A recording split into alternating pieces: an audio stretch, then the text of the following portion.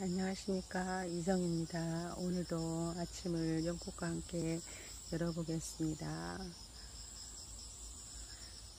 오늘 이 정도 핀 연꽃도 처음 마주하는데요. 그 우리가 처음 올라올 때 그 붓꽃처럼 이렇게 조그만한 그게 연꽃을 싸고 있는 어, 잎새가 이게 피는 순간 떨어지는 것 같습니다.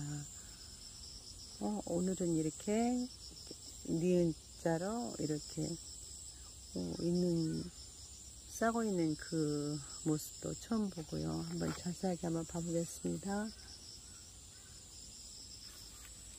와 이렇게 오므려져 있을 때 그 모습을 이렇게 처음 보는데 이거는 어, 저 깊숙하게 그 암술 암술과 수술이 보이는 것 같습니다.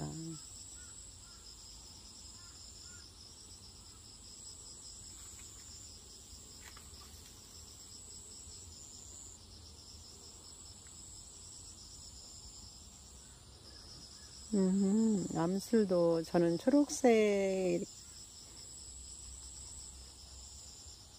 으로만 봤는데 지금 저 속에 보니까 굉장히 진한 옐로색인데요.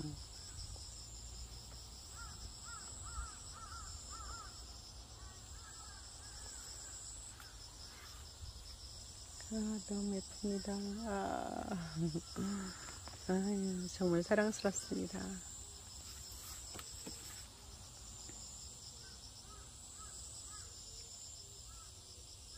제가 저번에도 그 우리 예, 선생님하고 같이 왔을 때 그 연꽃이 제가 바라보면 이렇게 감동스럽고 정말 어찌할 바를 모르는데 어, 특히 사람들은 그 표현을 하기를 되게 부끄러워합니다. 그죠?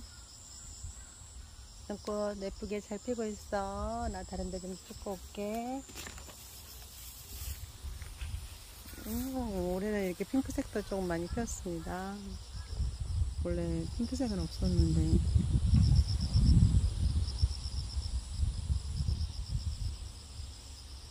와. 음, 어이구,